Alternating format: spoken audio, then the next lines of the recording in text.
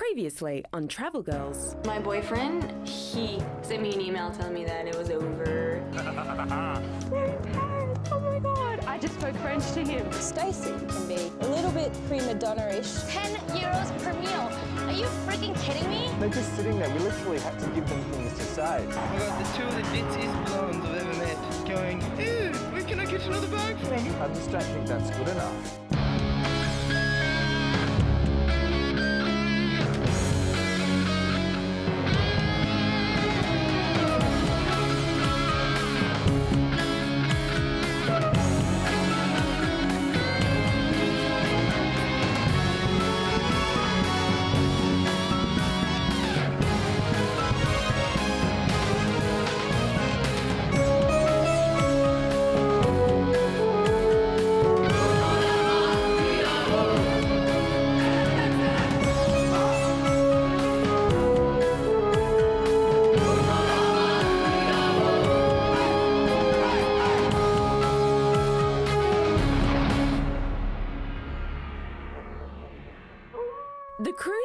Beginning to settle in at their new locations, and it's work as usual with tasks delivered. It's a task. We're shopping!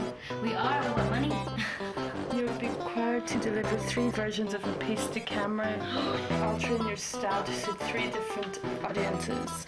Galeries Lafayette, you know what? I've never been there. Kirra and Heather, meet your producers at 6am in the hotel foyer at 6am. You'll experience something fishy. Oh no. At 6am.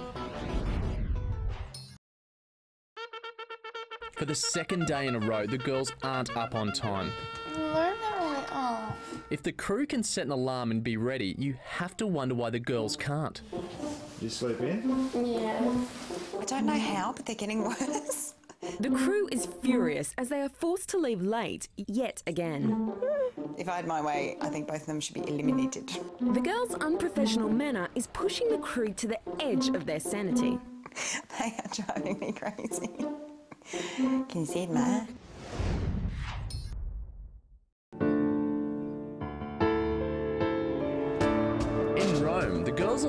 Get in touch with their spirituality with a visit to St. Mary's of the Angels and the Martyrs Basilica.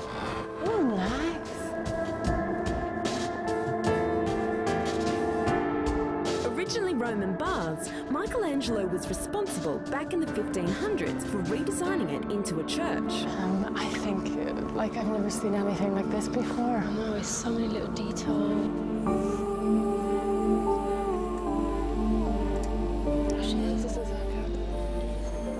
Emotional. Like, whole shivers. Breathtaking. Took you over. the whole Church.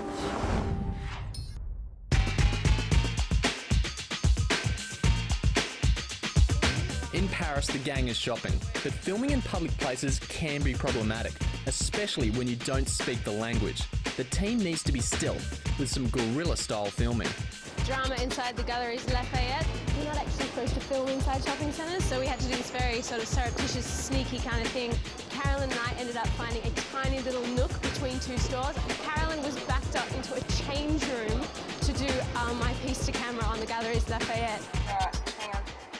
Paris is famous for many things, not least of all its shopping. And the best place to do it? Galeries Lafayette, which is the largest department store in the whole of Europe. That stunning 1900 stained glass dome above me is so fine it's classified as an historical monument. And at least once a day, models parade up and down the store's own catwalk in the most popular fashion show in town. We got a lot of dodgy glances from security. By the time someone asked us, you know, what we were doing, that kind of thing, we'd finished and we were like, oh, we, we were just leaving. Excuse us.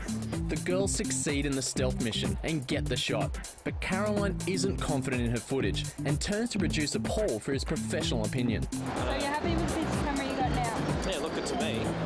What do you think? Well, But in terms of the shots that I got today, I'm not happy. Uh, as a camera person with pride in my work, that's not where I choose to be, but we had no other choice when we were inside. And they looked bad. and I told Paul they were bad, and he said they look fine and we don't have time to do it again. I thought the, the shot was better than the shot we could get out here because the shot had the dome in it, looked nice. If we wanted to get it 110%, we just wouldn't get it done. So we just have to go with what we've got and make the best of what we have. All right, let's keep going. Let's roll. And rushed me off, and I'm disappointed with them. And that means just shoot it and keep moving. Um, I know Caroline's a bit, you know, I'm not sure she feels the same way, but um, just there's not enough time in the day. We just have to keep moving.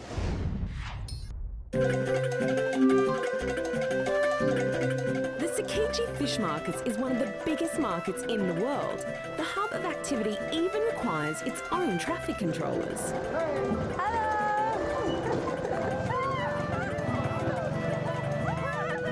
girls have only just woken up, but they will need their wits about them to not get run over.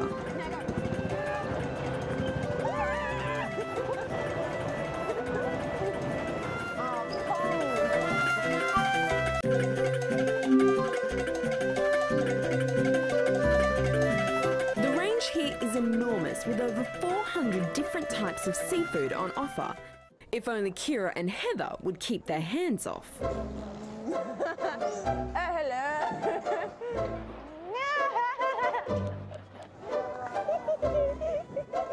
He's like, find me, find me, I'm cheap. I'm wearing a white coat. Despite being warned of something fishy, Kirra chooses fashion over practicality and will pay the price. That's fish blood. Yuck, I just got blood all over my coat. Ew, ew, ew, ew. Seeing as my jacket is now ruined, Ruined jackets aside, Kirra's task is to find the poisonous pufferfish, but the language barrier is going to prove a problem.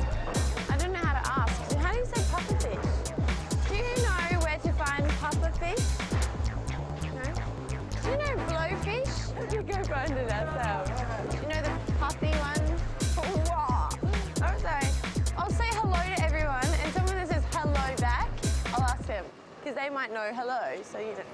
Hello. Hello. Ah, hello. Do you know where to find blowfish? You, you look for rockfish? Blowfish, yeah. Do you know, you know buff?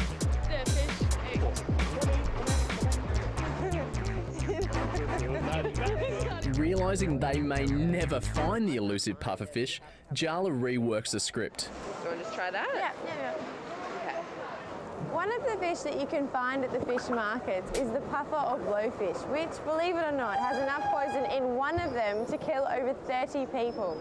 I've been trying to find one all morning and it doesn't seem to be around. Trekking through the fish markets. One thing, don't ever wear white if you're going to come and check this place out. For once, Kirra gets her piece out first take. The roles have reversed and Heather is tongue-tied. People call it. The Tsukiji markets are the largest markets in Antonio. Antonio. They're known as the largest markets in the world. Fuck, I can't do this. That's the tuna. That's the chicken of the sea. Please, my dog. Eventually, the girls have seen enough blood and guts. and after all that, you can come here and get a nice sushi breakfast.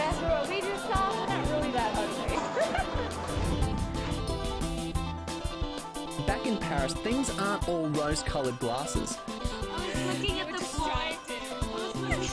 Suzie and Stacee became fast friends at the beginning of the show, but the friendship is beginning to show some strain. She's quite pissed off at the moment because we were walking around. Are you checking background to see if she's coming? Cool. we were walking around um, the Galeries Lafayette. 50% off boots. cool. Um, which way do I go now? And uh, Carolyn said to follow her. And so I jumped in line behind Carolyn and off we went.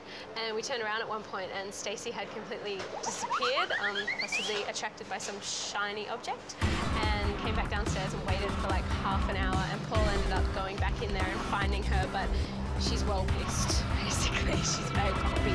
Come to find out,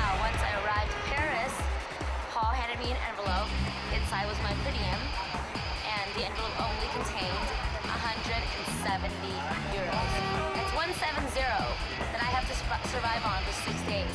Stacee's been giving me the shits a little, just a little. I mean, she's cool and all, but you know, the whinging about the money, just that it's a bit, it's a bit much. I'm really upset about that.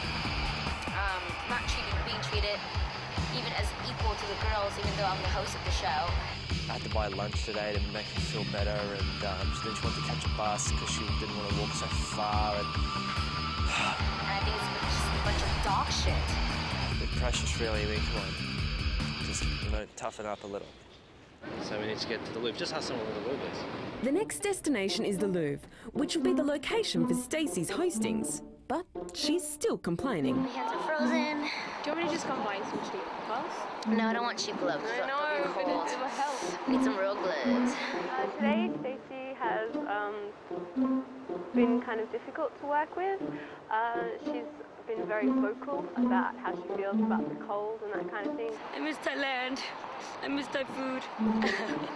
Though Thailand doesn't have the Louvre, so I'll put up with it. Put up with the cold. I'll put up with the cheese and the bread and the pasta. Okay. We're all freezing, you know. Um, she's kind of holding us up because she's complaining about the cold so much. As usual, Stacee is only thinking of herself. Although everyone is freezing, Stacee believes her comfort is the only concern. You might have guessed it. I'm standing in front of the Louvre, the world's biggest palace and museum.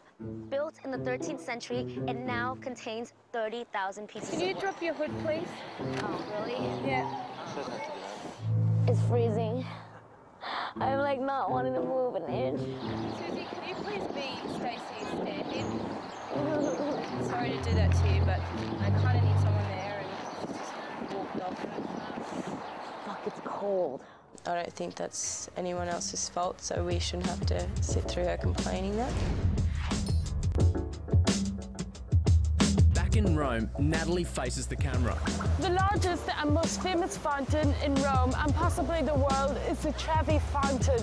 And you also notice that people are throwing coins into the fountain. You'd be wise to do this because one coin means that you're going to return to Rome. Two coins means that you're going to fall in love with a beautiful Italian. Even though I'm still nervous, I'm getting more confident, so whenever the camera's pointed at me, um, I know what to do. Rather, at the beginning, I was just really scared of the camera altogether. Jarna too has been scared of the camera, but now she has the added stress of an audience watching her perform her piece in front of the Pantheon. Italy has got the fourth most largest population in Europe with 58 million people and 3 million of those in Rome. 98% of Italians are Roman Catholics. And with the extra pressure, her language problems come rushing back. Catholic. 98% of Italians are Roman Catholic. Behind me is Pantheon, the most famous building of Catholic religion. Fuck. People around me. I can't. That's part of it. Actually, full of presentation in front of camera, uh, when there's a lot of people watching me at the same time. Sorry. And watching all the mistakes I do. The Pantheon is 43.3 meters in diameter and is 43.3 meters high and it's in perfect circle. I think we should go and check it out. Thank you. Quite nerve-wracking. When there's so many people around you just watching you when you do mistakes and everything. Oh wow. Once inside the Pantheon, you are struck by the sheer height of the dome above. It is even said that when it rains, you won't get wet under the opening, as the rain will evaporate before it hits.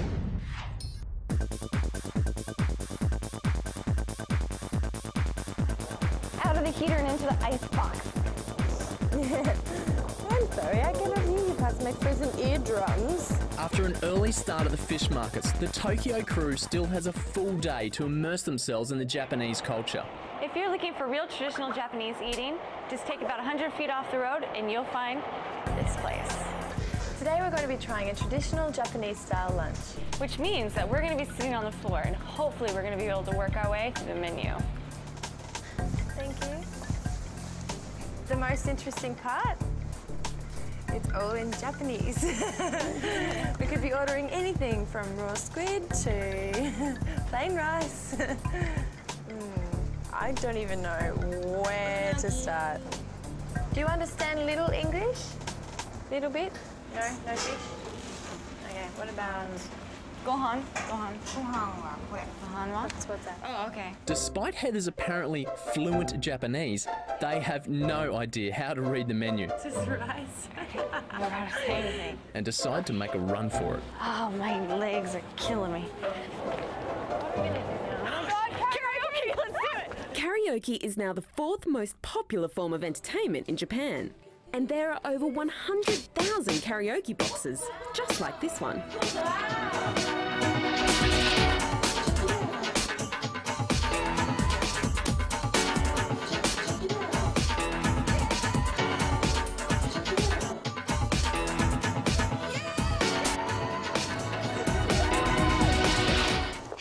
Hey, and we're strolling down the street of Paris. One of the most important things you must know while being a travel host is your audience.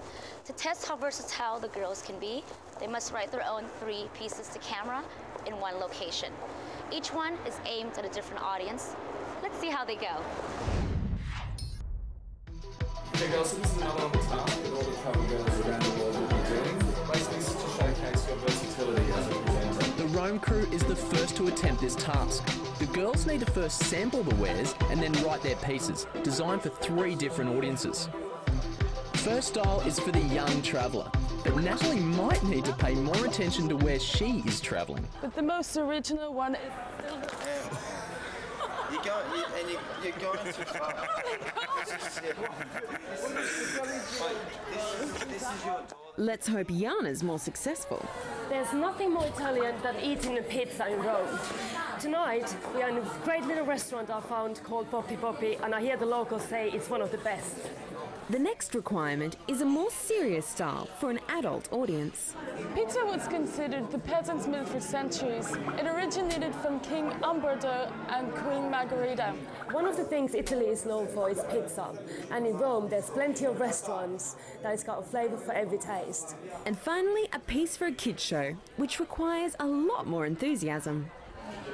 Today we're going to show you how to make pizza and why it's so healthy for you. I like the kids thing as well um, because it shows something, you know, about my personality that I haven't been able to show before. Like you have to be more bubbly. So you need to know the ingredients, which is flour, water, eggs, and a little bit of salt. The kids want to be more like kind of smiley and cheerful and get them excited. Yeah, that's it. Did you know that the colors of pizza resemble the Italian flag? Tomatoes for the red, cheese for the white, and basil for the green. Are you getting hungry?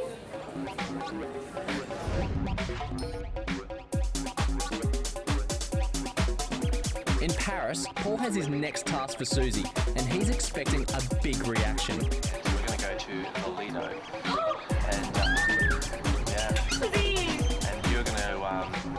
backstage at 8 o'clock. And you're going to uh, interview some of the dancers. We're going to sit back and watch the show. So it should be good, huh? Suzie, are you happy? Why am I crying? That's so cool. What a coincidence, hey? Because I had no idea. And uh, then yesterday you're like, I want to go there. I'm like, mm, well, that, that'll be fun. We've just told Suzie that she's going to do the cabaret and she flipped out, so I expected that. I'm pretty happy about that. I'm just, I'm over the moon. It could, it could be better. I'm so excited about interviewing the dancers. That's just going to be incredible. And then seeing the show as well. It's just it's more than anything I could have hoped for. Are you so happy you're crying? Thank you. If I had to choose my own task, believe it or not, it would have been going to the Lido and going backstage. I had kind of dreamed and wished and hoped about that. It's such a blessing to, to be a host and to actually get to interview someone that you're an idol, that you idolize, or some, some you know something you're interested in. Not surprisingly, with her constant complaining, the crew has learned to block Stacee out. Bonjour. I am standing on the Champs-Élysées outside the Lido, one of the most famous cabaret revues in Paris. I am so excited because tonight, not only do we get to see the show, we are going backstage to meet some of the performers in all their sequined glory.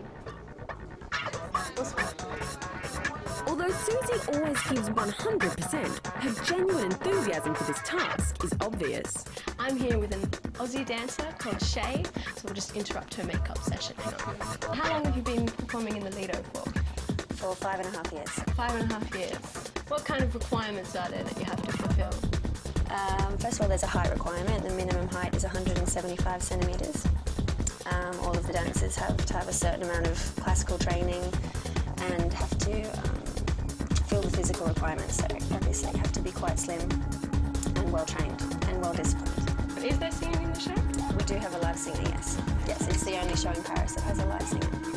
Well, good luck in your show tonight. Thank you very much. We'll be cheering for you. Opened in 1946, the Lido was one of Paris's most famous cabaret shows, up there with Moulin Rouge.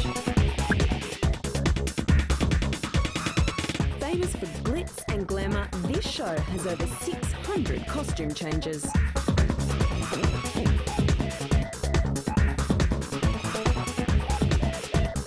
Wow, what an incredible spectacle. Beautiful dancers from all around the world, trapeze artists, contortionists, dancing horses. At one point, the stage turned into an ice rink. And you know what? With a budget of over 3 million euros, I'd get myself a couple of dancing horses too.